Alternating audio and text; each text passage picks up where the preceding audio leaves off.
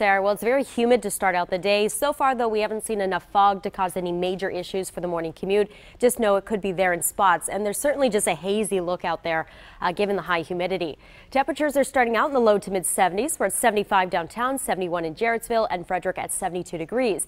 But this afternoon, we scale up the heat just a little bit more, so the heat index likely to be a pretty excessive across the entire metro. Heat advisory has been expanded. Yesterday, it was just in the metro areas, or at least in the heart of the city. Today, it could could include anywhere from Howard County through Baltimore County, the entire eastern shore, down through D.C. as well. Basically, by lunchtime, that heat index will make it feel like it's at 100 degrees, and then through the afternoon, it'll near 105 and maybe even up to 110 in spots. Places like the eastern shore tend to see the highest uh, heat indices in this kind of situation because they're that much more humid. Temperatures should actually be in the 90s today, 95 for the Baltimore Metro, 97 for D.C. Even Hagerstown will be in the low 90s this afternoon and again at about 10 degrees, so it will feel like it's close to 100 even as you start to head into the mountains.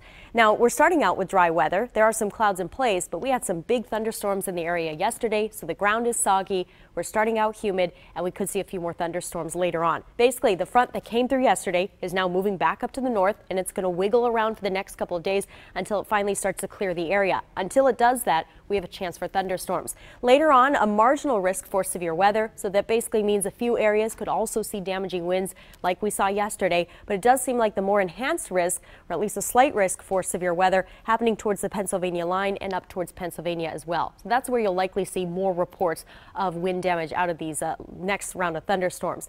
And they could be coming in scattered about later today and through the evening as well.